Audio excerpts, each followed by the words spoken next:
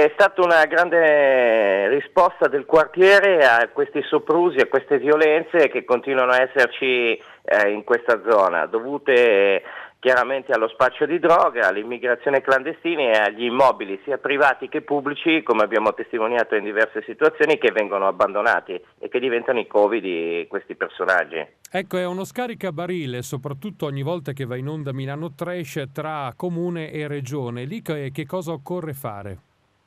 Ah, è diventata veramente uno scaricabarile di cui ormai tutti si stanno accorgendo. Addirittura siamo arrivati ieri al caso limite che è una nostra domanda all'assessore Rozza su come mai ci fosse un palazzo pubblico e uno privato in cui era intervenuto quindi il comune ancora in queste condizioni ci ha detto che la colpa nel palazzo privato è di Aler perché da Aler pare entrassero nell'altro palazzo, cosa addirittura a livello logistico e territoriale sbagliato perché i due palazzi non sono comunicanti, cioè raggiungiamo le comiche veramente. Ecco, che azioni si potrebbero quindi intraprendere concretamente?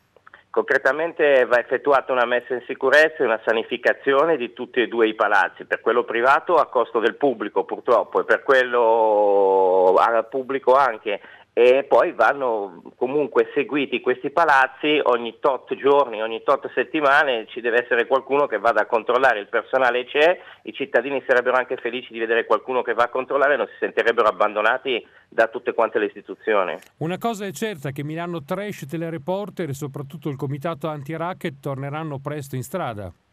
Siamo già ritornati in uno dei palazzi e prossimamente ritorneremo forse anche nell'altro.